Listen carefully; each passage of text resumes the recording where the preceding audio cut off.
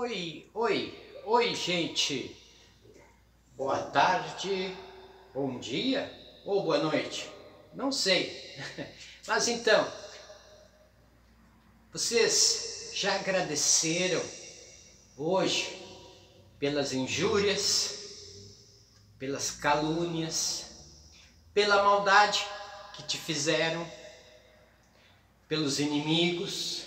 É, a gente tem que agradecer, porque essas coisas todas plantadas por eles vai só servir para eles colherem espinhos para a própria vida deles, enquanto para nós que somos as vítimas seremos levantados. Essa é a promessa de Jesus. Os humilhados os últimos serão os primeiros.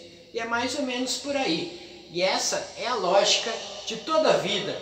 Então, precisamos sim agradecer até pela maldade que nos fazem, porque dentro da falta de fé, do pouco estudo dessas pessoas, elas plantam para colher, enquanto achando que estão fazendo mal para nós, jogando calúnia, inveja, maldade, elas estão, na verdade, jogando rosas sobre a estrada que nós vamos caminhar. Então é mais ou menos por aí. Agradeçamos, ainda mais se tu está num processo de evolução espiritual.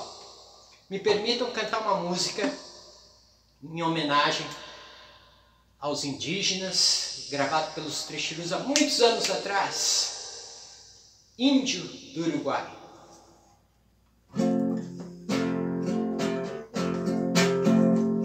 Eu conheci um velho índio do Uruguai que fez e que faz coisas índias que branco não faz. disse que a estrela d'alva assim que sai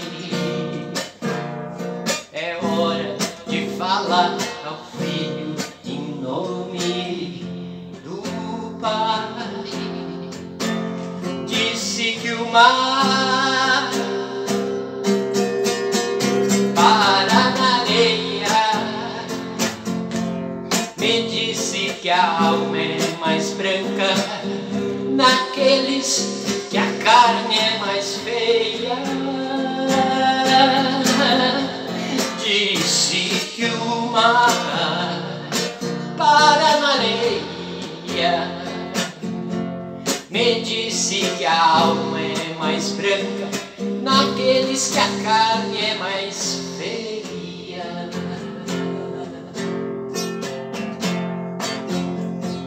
Eu conheci um velho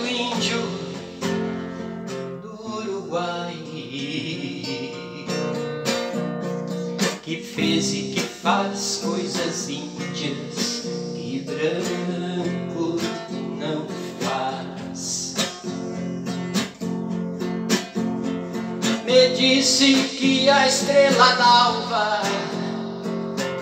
assim que sai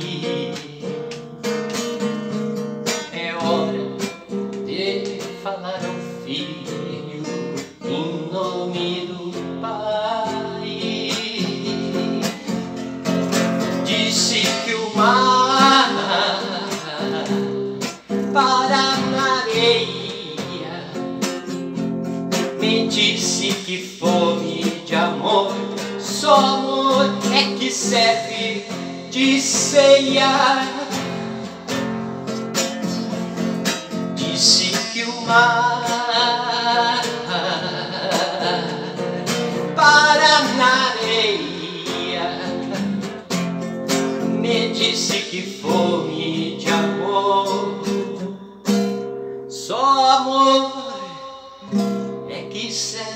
ceia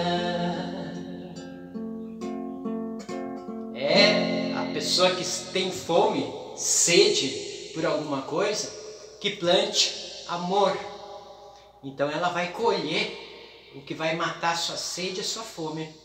Agora, se ela plantar espinhos, a hora que ela tentar beber ou engolir aquilo, vai trancar aqui, ó, e provavelmente vai morrer sufocada, porque ela plantou ódio, maldade. E a vida se resume nisso: sacrifício pelo teu próximo, pelo teu amigo, pelo teu familiar. Sem sacrifício, tu nem merece viver nessa vida. Sinto muito, mas tu tá é, vivendo nessa vida de uma maneira indigna. Luz, Carlos Neira aqui.